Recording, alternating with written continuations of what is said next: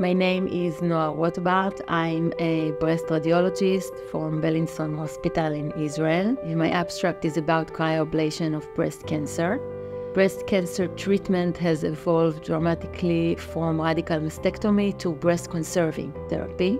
Cryoablation is a minimal invasive technique developed as a possible alternative to lumpectomy in certain specific cases. Cryoablation has several advantages if you compare it to surgery.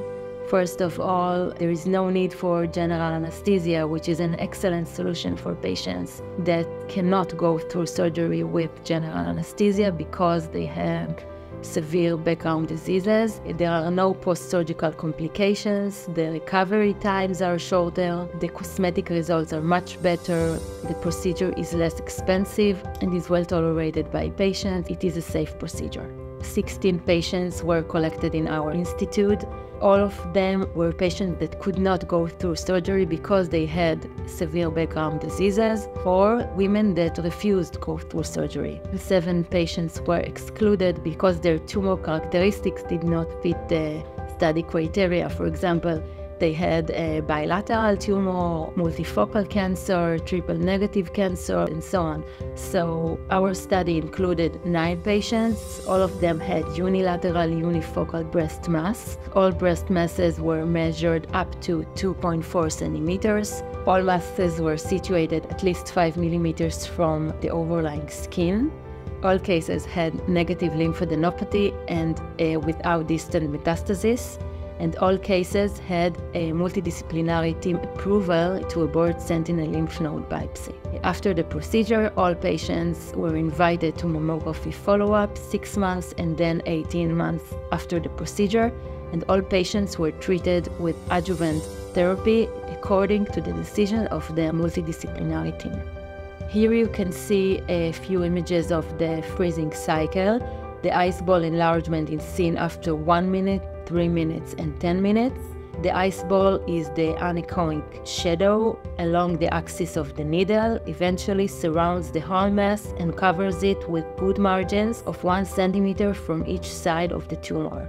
This is a mammography before the procedure and after 6 months and 18 months post procedure.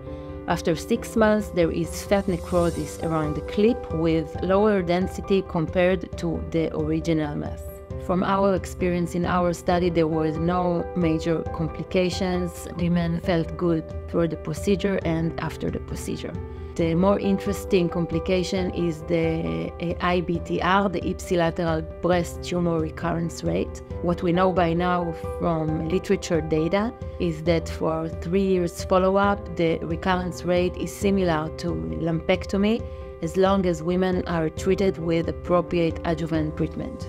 In our study, unfortunately, uh, one patient was diagnosed with distant metastasis nine months after the procedure. All the other patients are still on follow-up. The results by now seems good without recurrence. Cryoablation may be an alternative to lumpectomy in this population of patients with appropriate adjuvant treatment.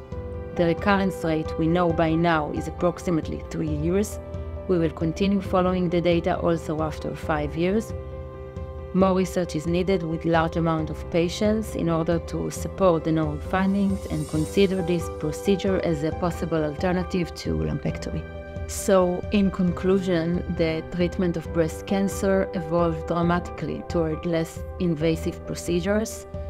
About cryoablation, although it seems a good alternative in certain specific cases, we should remember that for now it is not suitable for all cases of breast cancer mainly because it treats only the breast without sentinel lymph node biopsy. So each case should be considered individually by the multidisciplinary team in order to decide uh, how to treat it.